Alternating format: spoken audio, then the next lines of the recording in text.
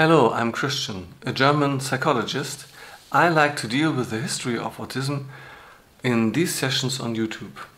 Now, in my second session, I like to present life and career of Leo Kanner, one of the two first descriptors of autism.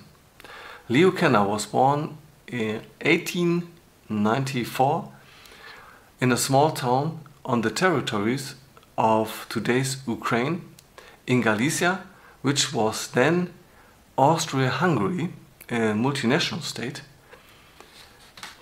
Kanner grew up with the languages Polish and Rutenic. Rutenic was a precursor language of today's Ukrainic. His family moved to Berlin in 1907 where they ran a hotel and Kanner learned German and French in school. He was a very good student and would have liked to become a writer, but began studying medicine before the First World War and was then recruited to a medicine battalion with which he moved as a soldier back to Galicia where he met the daughter of his mother's nephew called Junior Levin. After the war, Kanner completed his medical studies and returned to Galicia and brought with him his junior back to Berlin, where he worked as a general practitioner in his own practice and, because he was so clever, helped dentists with their doctoral thesis. Kanner met an American in 1923 who offered him a job in America. Since Kanner was Jewish, his job prospects were low in Germany, even at that time before the Nazis came into power. So he decided to immigrate with his little family. He was now father of a little daughter and they moved into the Corn Belt of the USA to Yankton, South Dakota. Kanner worked for the Yankton Hospital, uh, which was more or less a detention center for recalcitrant Indians. Only a few years after Kanner had ceased working there, the institution was closed due to violations against the law. But for Kanner, it was the first step into psychiatry. He adapted well, but his wife was bored because she had to spend the whole day with the other wives of the other doctors. And so Kanner applied to Adolf Meyer in 1928 when Meyer was the president of the American Psychiatric Association, a very prestigious position which one held only once in a lifetime for one year. After a long wait, Kanner was offered the job and he moved with his family to Baltimore in Maryland and worked with Meyer at the Johns Hopkins University. Kanner learned psychiatry from the bottom up.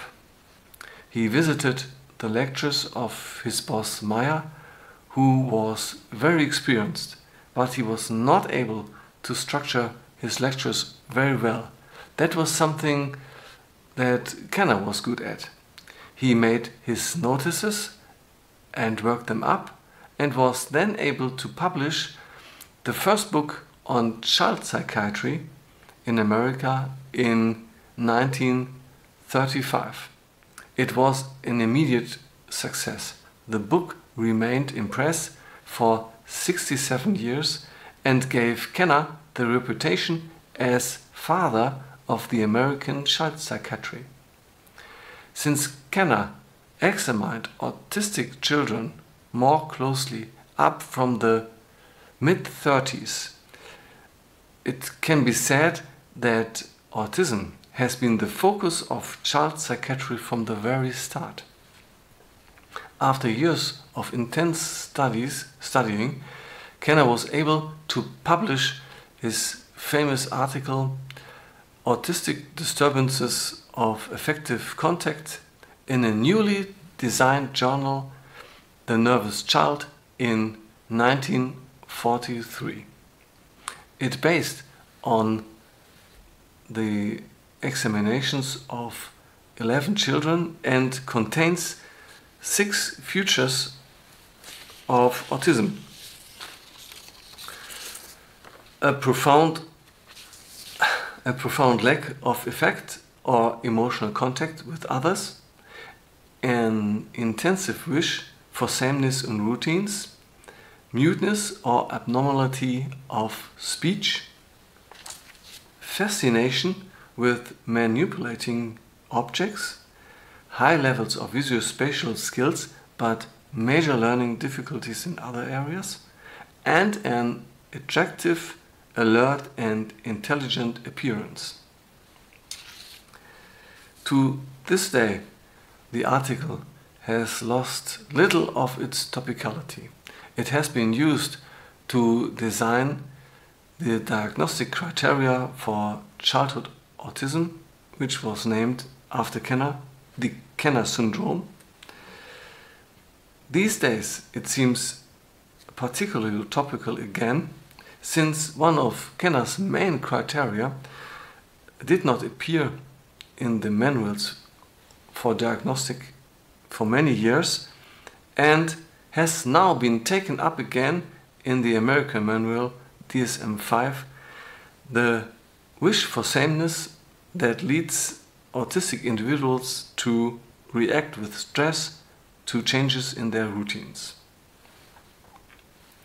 However, in the years after the Second World War, three of Kanner's mistaken assumptions caused a lot of fuss and trouble.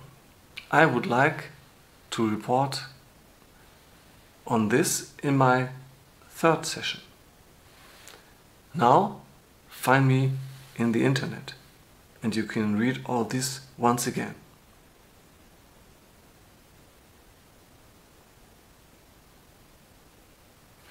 Ciao.